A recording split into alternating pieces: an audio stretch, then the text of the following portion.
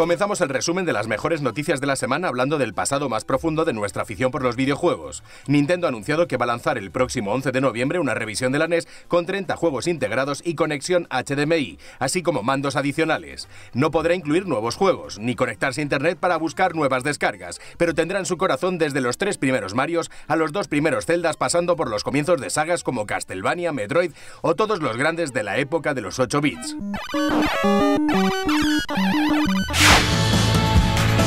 Otra de Nintendo y que ha tenido a todo el mundo ocupado esta semana. Niantic y The Pokémon Company han lanzado esta semana por fin en España Pokémon Go. Nuestro territorio se ha llenado de poképaradas y gimnasios y cada vez será más fácil encontrarse paseando en zigzag a los entrenadores mirando fijamente a sus móviles. DICE y EA dicen haber oído el clamor del pueblo y haber decidido por ello lanzar nuevos modos para un solo jugador en Star Wars Battlefront. Dichos nuevos modos se podrán jugar desde el próximo 20 de julio, pero de momento únicamente en la versión consola. Y ya de paso, han comenzado a mostrar el modo de la Estrella de la Muerte para todos los que quieran emular la épica batalla espacial. A Kojima nunca se le ha dado bien eso de ser comedido. Por ello, no esperamos de él que se muestre humilde frente al reto que le supone enfrentarse a un nuevo juego después de tantos años volcado en la serie Metal Gear.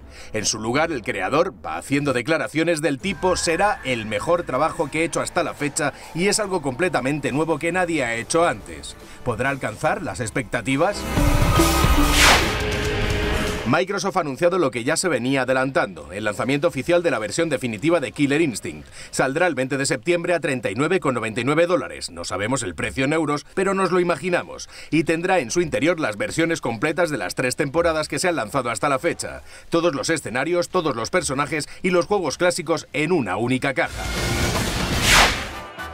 Bethesda se estrenó en móviles con mucho éxito con Fallout Shelter, pues ahora esta especie de aplicación de gestión de refugios nucleares va a saltar de nuestros bolsillos a nuestros ordenadores. De esta forma, mientras haces otras cosas, podrás siempre guardar unos minutos para sofocar incendios o acabar con plagas de mutarachas. ¿Por qué lo nuevo de Inafune va a costar 40 euros y no 70 como es costumbre? Desde Microsoft dan la respuesta. Record todavía no tiene una base de fans potente. Y al ser el primer juego de Xbox One de esta temporada, han decidido romper la barrera del precio para que los jugadores no tengan esa limitación a la hora de comprarlo. De momento parece una buena estrategia. Veremos cómo resulta.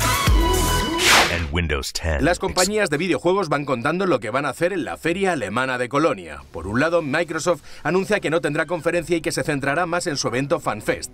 Posteriormente, Electronic Arts y Sony se han sumado a la tendencia. Las tres mostrarán en exposición sus próximos lanzamientos, pero ninguna apostará por el modelo conferencia. Hasta aquí todo por hoy. Próximamente más vídeos en Vandal Televisión. Nos esperamos.